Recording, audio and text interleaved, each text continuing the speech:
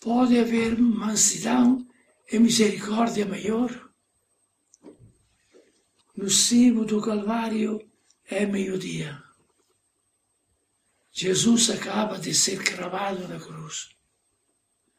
As mãos e os pés estão presos por pregos no madeiro. Está reduzido à impotência absoluta. Com os braços abertos dessa maneira, nenhum movimento lhe é permitido, nenhuma defesa lhe é mais possível. Está exposto a qualquer violência, a qualquer ultraje e abuso.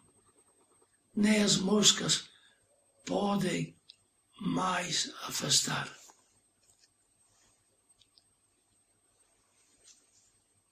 O povo permaneceu a olhar. Os chefes, porém, zombavam e diziam: A outro salvou, que se salve a si mesmo, se é Cristo de Deus o eleito.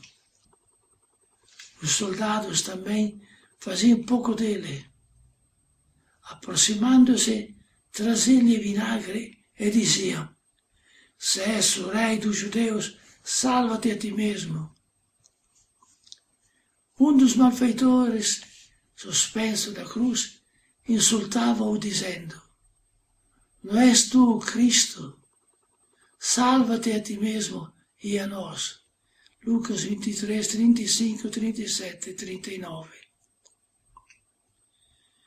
Uma grande treva desce sobre a terra até as três horas da tarde. Jesus dá um grande grito: Pai, nas tuas mãos entrego o meu espírito.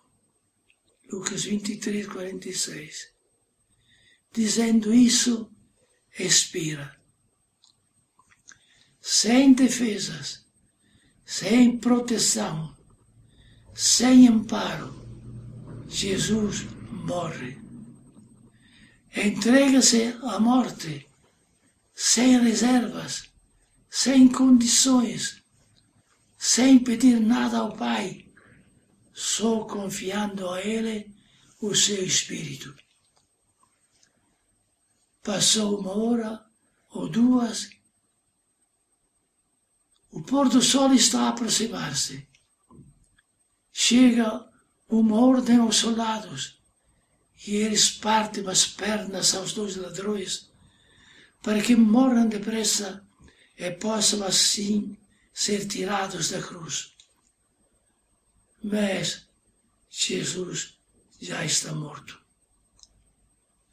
Um soldado observa-o atentamente, não há dúvida, está morto. Apesar disso, porém, pega numa lança, traspassa-lhe um lado, abrindo-lhe o coração. Uma fenda mortal a um homem já é morto. Último ultraje a quem não tem defesa. Como se fosse morto duas vezes. Mas dessa ferida extrema ofensa da violência humana, brotam sangue e água, símbolos do dom da salvação. Jesus crucificado. É a manifestação mais extrema da entrega de si. Entrega aos sofrimentos, entrega à morte, entrega sobretudo aos homens, entrega a si. Sem alguma condição aos homens, seus irmãos. Jesus crucificado é a prova última de quanto paciente seja ele em frente dos pecadores. Que medo devem ter de um homem com os braços abertos, as mãos e os pés cravados na cruz. Os sumos sacerdotes fazem troça.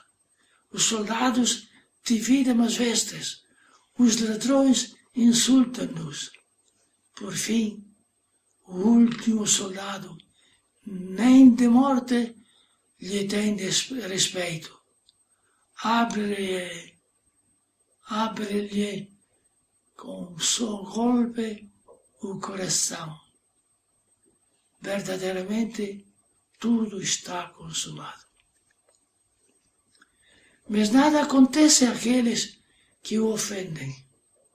Nenhuma ameaça, nenhum castigo, nenhuma repreensão. Lhes é dado. Imediatamente saiu sangue e água. João 19, 34. O sangue do Cordeiro, onde se lavam as vestes dos pecadores, a água símbolo do Espírito Santo que doa a plenitude da vida. Confronta João 7, 37, 39. Assim responde o coração de Cristo. Até o fim do mundo continuará a brotar sangue e água, à espera que se cumpra a última profecia. Olharão para aquele que trespassaram. João 9:37, Zacarias 12:10. E todo aquele que olhar para ele não perecerá, mas terá a vida eterna. João 3,16 Pode haver mansidão e misericórdia maior? Irmãos e irmãs, para todos desejamos uma santa e profunda compreensão da paixão e morte de Jesus na Sexta-feira Santa. Amém. Padre Aldo Marquesini, de Oniano, missionário e médico em Moçambique. A bênção de Deus misericordioso e compassivo, Pai, Filho e Espírito Santo, desça sobre nós com a sua misericórdia infinita e permaneça para sempre. E digamos, ó sangue e água que brotastes do coração de Jesus como fonte de misericórdia para nós, eu confio em vós. Diário Santa Faustina 187